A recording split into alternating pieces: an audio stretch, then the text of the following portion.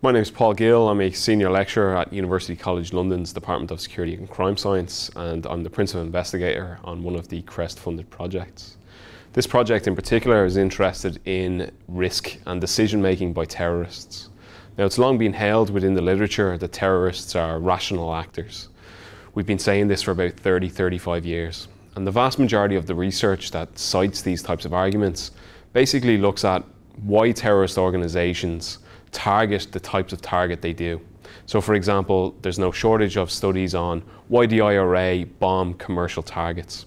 But what is really missing is an analysis of why the IRA chose to bomb that particular commercial target as opposed to one around the corner or across the street.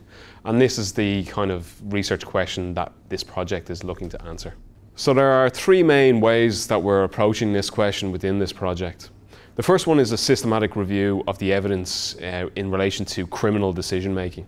We found over 100 articles that look at why criminals target particular locations to engage in their crimes.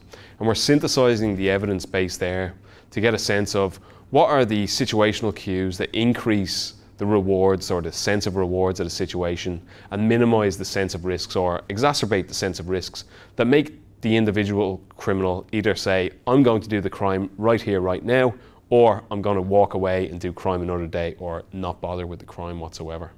So that's the first approach.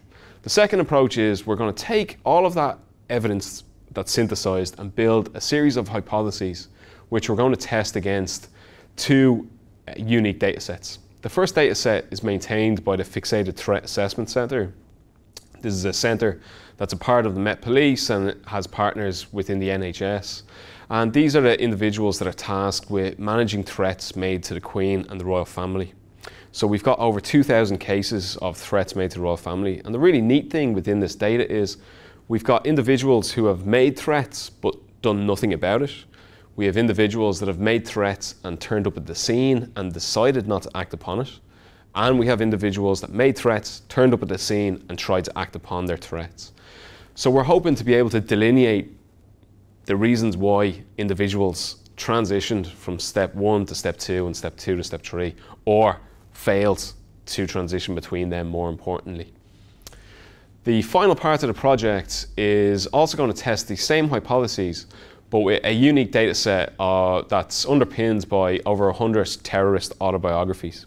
So we're going to turn that largely qualitative data into quantitative evidence about the types of decisions uh, and behaviours that make a crime more, or a terrorist attack more likely to occur at a given place at a given time.